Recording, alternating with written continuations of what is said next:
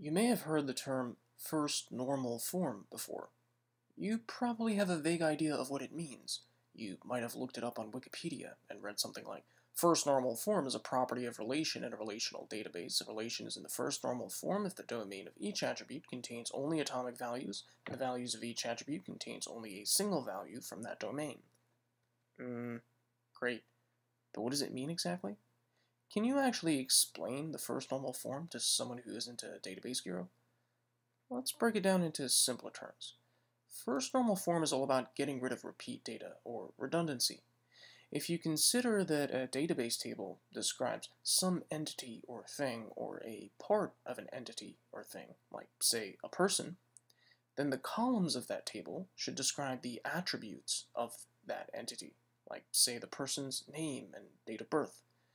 This divides our table into two dimensions, columns and rows. And that's pretty much it, really.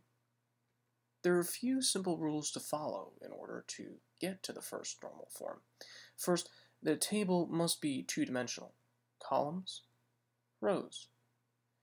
Each row contains data about one thing, or one part of a thing, meaning that from one row, I should only get information about Bob and not both Bob and Jane. One column provides us with a single attribute, meaning that each column contains data only about a single attribute of the thing we're describing. So, for example, if I have Bob Smith in the name column, I'm actually describing two things. Instead, we'll divide it up into two columns a first name column and a last name column. Now, say I wanted to search for anyone with the last name Smith. It becomes easier because I can tell my database management system to search only the last name column for Smith, whereas you can see we have someone whose first name is Smith. And that wouldn't work if we only had one column.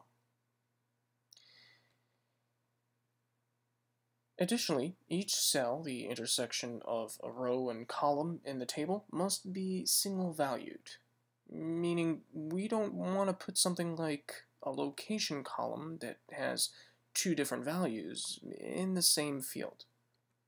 Additionally, every entry in the column must be of the same kind, meaning that if we had a list of locations like this, where some of them name countries, others name cities, and some even streets, we're not following the first normal form. Instead, we'll divide it up into multiple columns like this, where there is an address column, a city column, and a country column. That way, all the entries in our columns are of the same kind of data. Additionally, each column has to have a unique name. Finally, rows must be unique.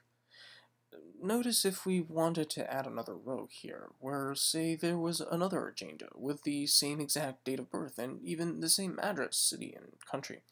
While unlikely, still possible if we're describing two distinct people with what happens to be the same information in this particular table. In order to make the rows unique, all we have to do is add a unique column. While Jane and Jane may share the same name, date of birth, and even address, city, and country, it's very unlikely that they'll share the same email address. So we give them a unique row by allowing them to identify their email address, and we call that a primary key. The order of the columns and rows shouldn't matter because we always know the name of each column, and since we know that each row is unique, we shouldn't care what order the columns and rows are given to us in.